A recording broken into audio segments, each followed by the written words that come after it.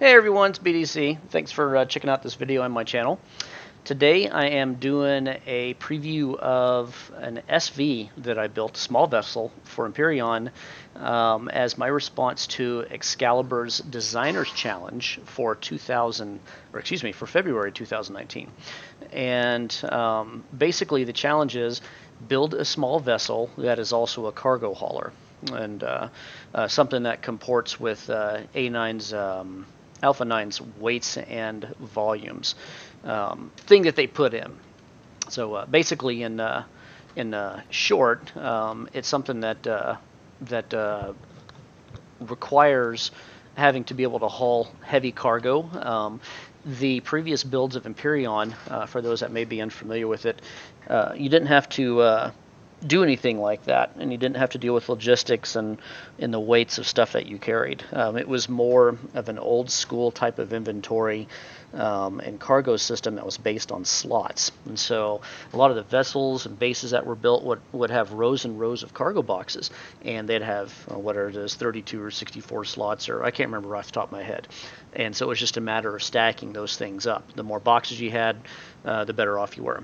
Well, in the new, uh, I think it's Alpha 9.3. Um, uh, the Alpha 9.3 um, release, uh, the system changed, um, although it is currently still an elective. I suspect that it may become a permanent thing at some point.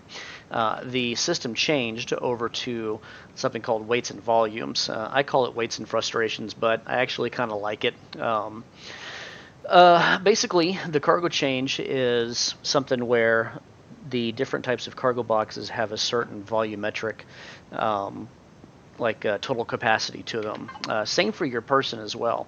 So right now I'm in God mode, so it doesn't uh, it doesn't matter. I can carry a million tons of whatever; it wouldn't make any difference. But for instance, on my uh, player, if you look on the bottom left, you'll see a volume number, and it shows a total of 500. And in this case, it's because I'm not wearing an outfit. Uh, I'm not wearing uh, armor or whatever. Um, the different armors, I think they're they're 600 for light, 650 for, 650 for medium, and then 800 for heavy. Um, but anyway, um, all this applies to uh, ships and cargo uh, boxes and bases and all that sort of thing too. So let's see, just to give you an idea, I will grab a container controller, and yeah, I hear that critter over there. Uh, let's see, one for a base. Let's see, what do we got here? All right. I'll throw one of these things down real fast just as a test. I'll get rid of it in a second. Okay, this thing has a volume of 8,000. So I could cram a lot of stuff in there, uh, just as an example. Um, but you can fill up uh, an 8,000 volume container. Now, the way that um, or one of the ways that they uh, that they enhanced this, uh, I should say, is with the use of container extensions. So, say you have a large base and you have, let's say, a whole lot of smelted uh, ingots, uh, iron, copper, and all that. That stuff can get pretty uh, weighty, especially like sathium. Really heavy stuff's promethium ore. So you have a lot of that stuff, and um, you don't have the volume to support it. So what you do is, is you lay one of those container uh, controllers down and then you use these cargo extensions on it. And you basically build your cargo space. So with those three extensions plus the uh, container controller I now have 32,000 volume in this cargo whatever you want to call it. So anywho um, the same rules apply for HVs and SVs uh, it's actually a real challenge for hover vessels because uh, they're nowhere near as powerful as uh, small vessels can be in terms of uh, some of the thruster choices and they can't fly and all that kind of thing. Um, but with respect to the challenge that XCaliber put out, um, basically he is commission or he has commissioned people to do a small vessel that is also a cargo hauler. Um, I know there's a lot of people that are upset with the direction that Empyrion's taking with this weights and volumes thing. Um, it's I have to be honest. I was apprehensive about it at first. I was a little. Uh, I was a little put off by it um, because for me it meant that I had to go through and look at all of my vehicles that I have out there and uh, re-update them for the new version, and that was like five days of work or something. I was just I was just at it every day, uh, and I had to retest everything with weights and you know all that kind of stuff like that. But after it's all done, and then also after having played on a couple of multiplayer servers that have the weights and volumes enabled, I actually like it quite a bit. Um, the the end effect is uh, I think twofold, just off the top of my head.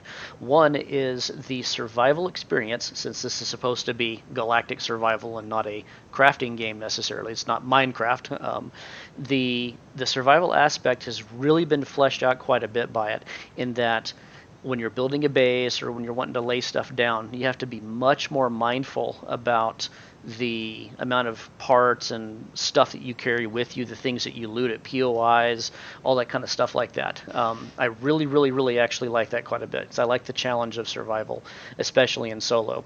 So now what I have to do when I play, if I want to do a constructor, that's 600 volume. That's as much as your guy can carry in light armor. I think it's more than this guy can carry right now. I wouldn't be able to even grab that block and then place it down. I'd have to have light armor on. Um, so like I have to use an a uh, excuse me a uh, an HV I can use as a logistics support to go loot stuff. I have to make sure that it has some some uh, cargo uh, volume capacity in it when I go and grab stuff. Uh, you can't just basically carry around an entire base full of crap in your inventory anymore. You know, there's no more carrying around uh, 3,000 blocks of armored concrete and you know and a thousand blocks of hardened steel or whatever. You can't do that kind of thing anymore. So you have to be a lot more mindful about it and it makes you it forces you to be more picky and choosy in how you do all the logistics and moving stuff around and how you play. And I really like that quite a bit. I really, really do. It adds a, a challenge uh, to the game that I think was lacking. The second thing that I like about it is, is it opens up the possibility of doing cargo transports like this. I mean, I never thought I'd make a, uh, a hauler vehicle. Uh, that's not something I was thinking about doing. Um, there was just no need for it. I had uh, already had an SV, a couple SVs that were designed that had multiple cargo boxes, and since everything was done back then with slots, it didn't really matter. It was just, hey, I had two or three boxes on there, big freaking deal. Uh, but now there's the challenge of the the weights and volumes thing, and so it really puts um, how, how, should I word this? It puts a lot of emphasis on how you build a ship now. Uh, how do you do uh, power generation, gyros, the RCS, uh, thrusters, and thruster distribution?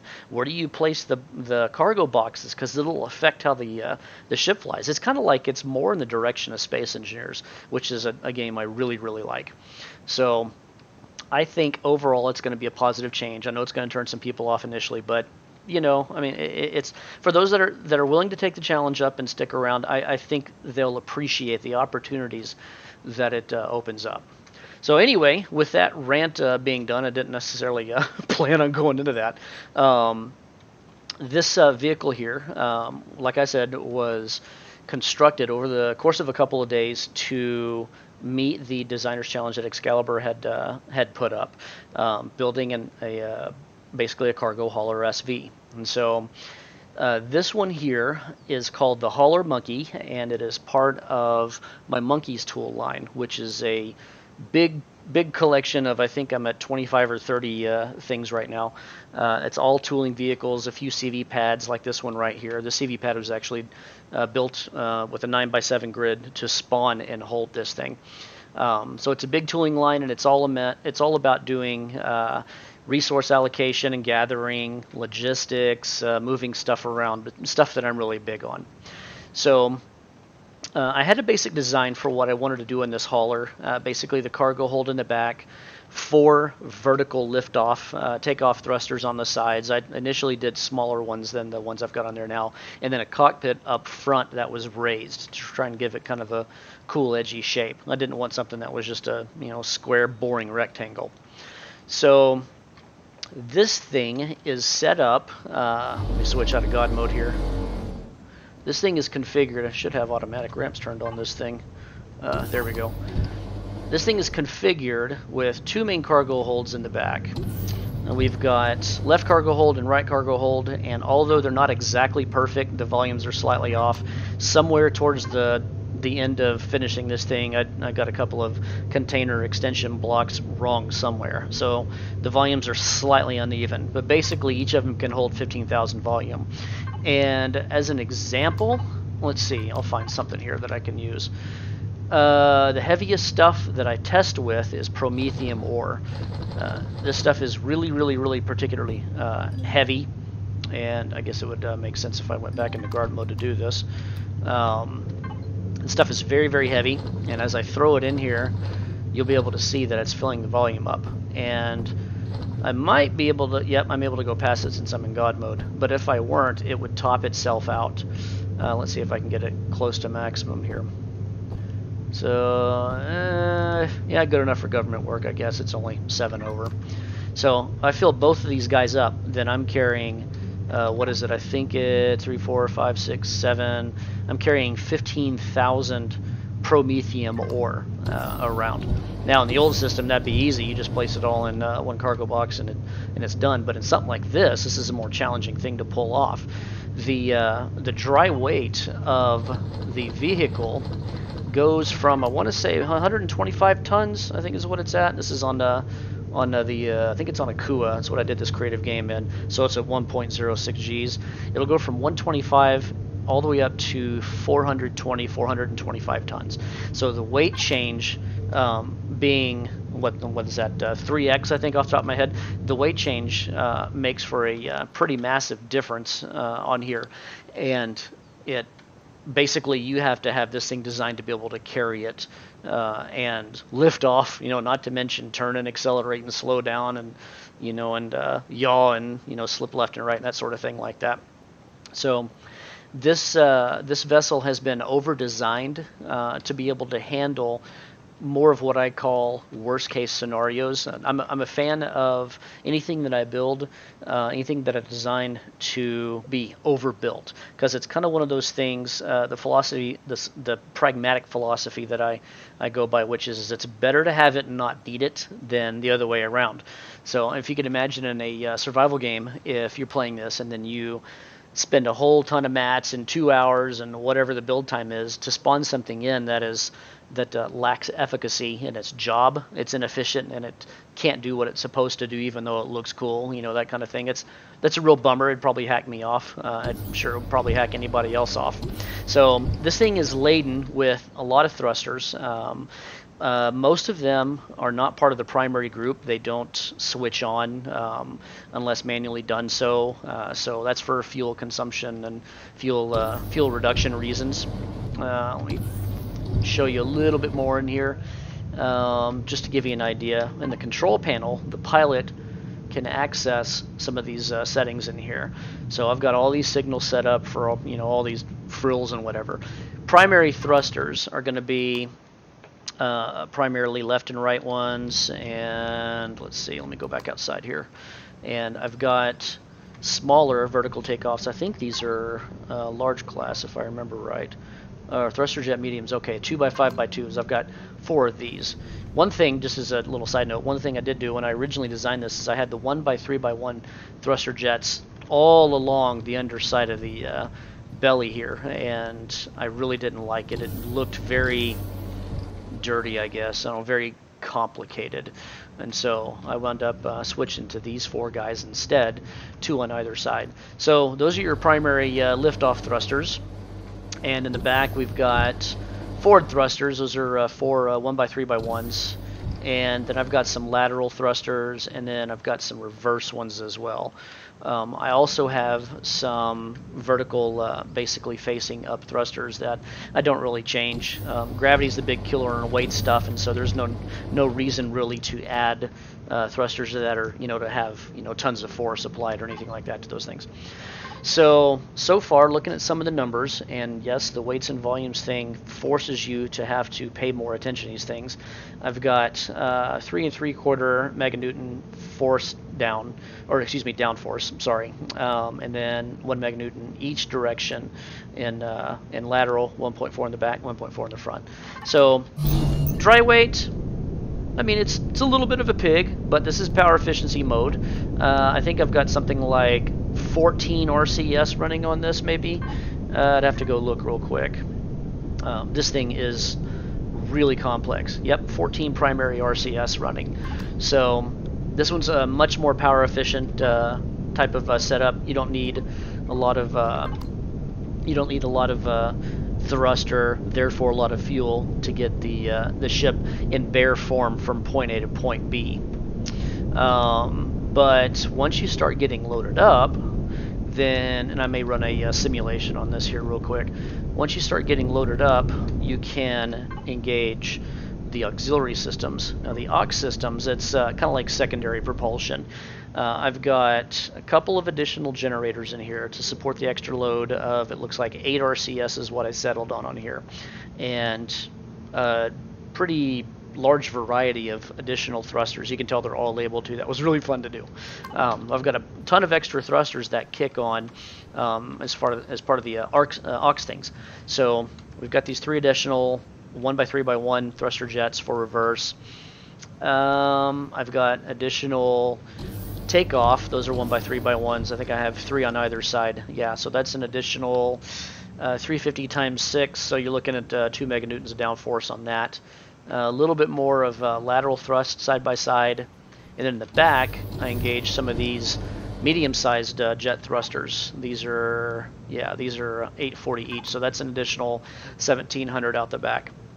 Now, with the test that I did earlier with all the promethium on this planet and this gravity with this atmosphere, because all that, all that has an effect on the uh, um, on the uh, flight mechanics, the flight dynamics of uh, how a ship flies. Um, that is still not enough. So like I've done in several of my other ships. Uh, I did this, um, I talked about this in the Oberth CV video that I made, where I have this boosters group. And uh, basically, it's a tertiary group of thrusters that are really hard hitting. We don't care about the fuel consumption, the thing just guzzles gas, you know, that kind of thing. But we need it under a more extreme uh, circumstance where we're really carrying a lot of weight.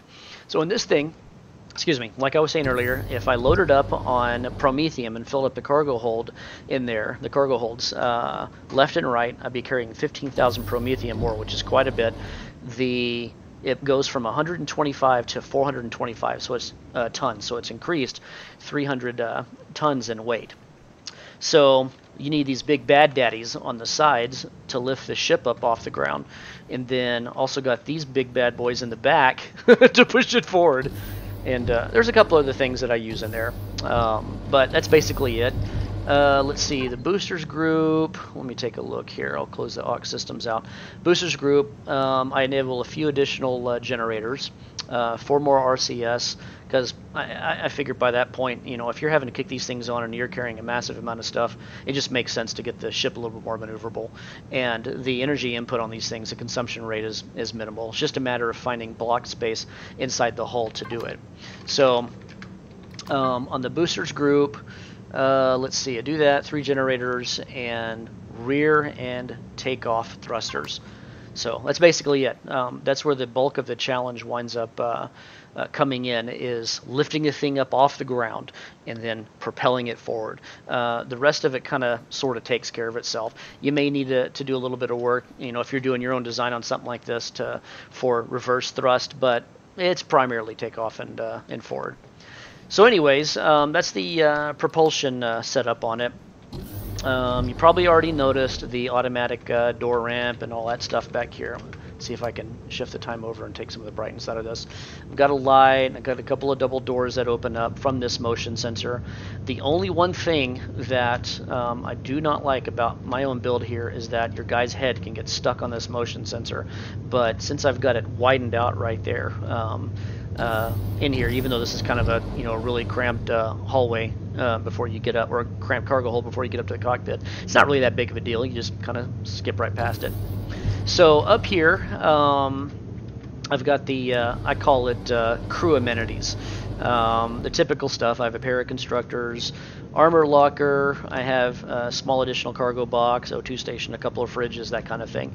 Now, the idea behind this design was just to strictly make a cargo hauler. I didn't want to go all in and have all this other fancy stuff on it, but I did think that it would be really convenient to be able to take a couple of buddies with you Uh, so I went ahead and made room inside the cockpit for a pair of uh, crew seats, and um, they actually work. Even though when you sit in them, you can kind of sort of see outside, but you don't get ejected outside the ship, which is kind of nice whenever you whenever you want to dismount off the seat. Same with the cockpit uh, cockpit seat as well.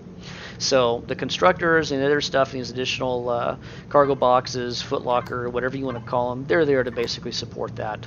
Uh, so inside the rest of the ship here, as far as the internal guts of it, um, I've got 1102 tanks. Um, don't ask me what the capacity is. Let's see, uh, uh, 4,400. Um, so I guess that's going to be 4,400 pounds or whatever the uh, uh, measurement unit is. I've got 20 fuel tanks. That's actually over 10,000 fuel capacity for this thing, if I remember correctly and uh, so this thing can support all those bigger thrusters and you know in a denser atmosphere and all this other nasty stuff and still be able to to get your stuff from point A to point B. And let's see I don't know uh, I've already I think I've already shown the generators. I've got several regular generators. I've got additional jennies inside the auxiliary systems and the boosters. And then I also have a backup generator group, and those are stuff somewhere in the back of the ship. I can't really remember. So if you're inside of uh, dense atmosphere or higher gravity and the power consumption goes way up, then you can kick those guys on and um, try to help even that out. Because the from what what I've I've seen so many times uh, playing on the servers, is that when you get into a really nasty world and you and you don't have enough power generation, it goes into the yellow and the red, and your fuel consumption is through the roof. So that is there to try and help mitigate that. Um, I've got other stuff on power groups here, constructors you can flip on and off, the fridges, you know, that kind of thing like that. And a lot of this stuff is mainly for power efficiency reasons. Uh, we want to keep um, keep uh, fuel consumption down if we can. We don't have ginormous fuel tanks like in a capital vessel for this. That's part of the challenge of this. Um, being able to carry all this weight and support the thrusters and the power needed means um, you have to have a lot of generators, a lot of RCS, a whole lot of fuel tanks since there's no tier 2 versions of them. You know, that, that kind of thing like that. We don't have multiple grades that we can choose from. Maybe we will in the future, but we don't right now. So, and on the right, I think I've already uh, uh, shown you the uh, primary thrusters. You can switch off the automatic door ramps. Um, this kicks off the motion sensors, which turn on the interior lights and shuts off uh, all the other lights as well, really, inside. Uh, I've got collision lights. Uh, you probably already saw those outside. I've got reds on starboard and greens on port, and they blink once every several seconds. I've got two different groups here, one for front spotlights I want to make it nighttime here real quick. The front spotlights kick on and uh, make it uh, really nasty bright. And then I've also got landing lights, which I think is kind of cool. Now they're they're positioned closer towards the bottom of the uh, of the chassis, but um, once you're up in the air, they make a nice big glow. So if you're carrying all this heavy crap and you want to be careful where you land and you know park your boat, then you can use those to see better below you. I just felt it kind of makes sense. It may not be a, necessarily you know critical type thing, but to me it makes sense and it seems like it's uh, beneficial. So. Anywho, um, I think that is all there is to show uh, for this vessel. Again, this is the uh, Hauler Monkey. It's the first version of it. Um, I don't know if I'll do any reworking or not on it. It's uh, I've already field tested the the heck out of it uh, with uh, tons of weight and all sorts of stuff I can throw at it, and it was able to carry stuff. It didn't uh, it didn't go haywire or act weird or fall out of the sky or anything like that. So I guess that's it. Um, I hope you guys enjoyed the video. If you did, please smash that like button and click subscribe. I'd like to grow this channel and get some more content up there for you guys and show off some of the stuff that I build. So that's it. Um, hope you guys enjoyed it. Thank you very much and have a good one.